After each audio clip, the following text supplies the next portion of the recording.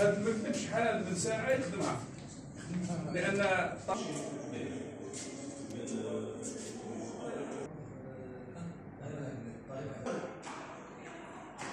تم اليوم آه، تدشين آه، بعض المرافق البحثية والعلمية وبعض والأخرى آه، خدماتية. الأولى تتمثل في فتح مخبر للعلوم الاقتصادية والإنسانية.